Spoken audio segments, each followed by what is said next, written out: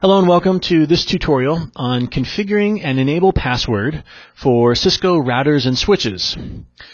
The enable command is used to access privilege mode, uh, also known as enabled mode. And this mode offers the user a lot more options and what they can do to the switch or router. It's a lot more powerful.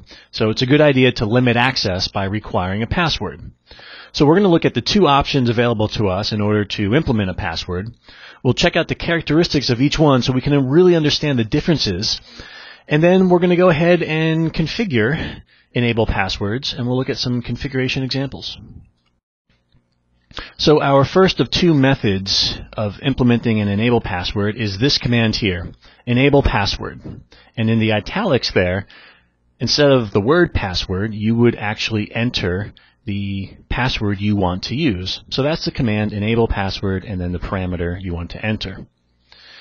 The primary characteristic of this method is that the password you choose is stored in the configuration file as clear text. So anyone can view that password. So it's not terribly secure and it's not the best route to go. So you can imagine our other option is going to address this problem so let's go ahead and take a look at that one. Our second option is the enable secret password command. So the command itself is enable secret and then the parameter you want to enter, here the italicized word password, that is where you would enter the password you want to use. So enable secret, it's a secret. Why? Well, the password, when you use this command, the password you enter is going to be automatically hidden or encrypted by the IOS. And this is done by using a mathematical function. And it's known as the MD5 hash. So this function produces a value. And the password you choose is run through this function and this hash value is created. And instead of seeing the actual password you enter, you see this funny looking string of characters, which no one knows what it is. Now the router can go ahead and figure out what the real password is because it's the one who created the hash, but anyone else who looks at the configuration is going to have no idea. So this is a more secure method of storing that pass- password. You can configure both the first command, the enable password, and the enable secret password command on a single router or switch. You can do both. If you do both, then in order to get into enable mode, in order to get into privilege mode, you use the enable secret. So that kind of trumps the other command. The more secure one is the one that would be used. So those are the two methods and those are the characteristics each one. Generally speaking, you want to use the enable secret. It's more secure and it's better. So let's go ahead and actually get into some configurations. Okay, here we are at a router command line. And let's start by checking out the running configuration. And here is where you would normally see the enable password configurations, and they're not there. So let's begin by jumping into configuration mode, and we'll start with the enable, the standard enable password, and I'll just question mark here to show you the parameters available. You can see password and you can see secret. We'll start with password and I'll use California.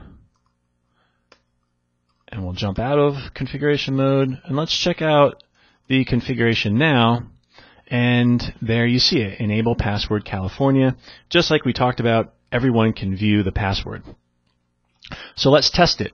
I will jump into user mode, get out of privilege mode, hit enable, and type California, and I'm back. So it worked. That was pretty simple. Let's go ahead now and enable the secret enable password. So, enable secret, and this time let's use New York as the password, and we'll jump out and check out the configuration and now you can see enable secret 5 and then you see the string of, of characters. That is the MD5 hash value. So we have successfully hidden that password. And that's great. That's really what we want. A thing to point out here, the 5 stands for type 5 and that generally means the MD5 algorithm, the hash is what is following it. Um, you will see other types of encryption on Cisco routers and switches. Sometimes they have type 7, that is a a less secure method of hiding passwords. And we talk about uh, password encryption in general in a different tutorial. And you can see here up above the no service password encryption. Well, if you enable that command, then you get into encryption for all passwords on the router or switch. So if you have a chance, check out that other tutorial on password encryption. It's pretty good. Finally, what if we want to get rid of these passwords, the enable passwords? Well, we can do one of two things. We can go ahead and we can type no enable password, and we've just gotten rid of the first one, the, um, the non-encrypted one. You can see now it's gone. And you can do the same for the encrypted one, the secret password. You can type the no enable secret, and if you hit enter now, it would delete it. You don't have to go ahead and copy the entire text string. So that's the good news. More often than not, though, you'll just want to go ahead and change the enable secret. So um, I mean, if you want to delete it, that delete it, that's great. But for some reason you need to change it. All you would do here is just retype it. Enable secret, and then choose your your new password. Hello, and and now we can see it looks the same more or less. I think that string of characters has changed. But if I get out of privilege mode and get try to get back in, New York doesn't work but hello does. So we've successfully changed it just by re-entering it. You don't have to delete it and then re-enter it. Okay? So to summarize what we went over, there are two commands at our disposal for setting up enable passwords. The first one, enable password, um, unfortunately displays the password in the configuration file. The enable secret password hides it by using the MD5 hash value and that is a more secure way for storing the password and I would recommend using that one if you have to set up an enable password and generally speaking you want to set up enable passwords. And that's it. There you have it. That is the tutorial on configuring enable passwords. Thanks for watching.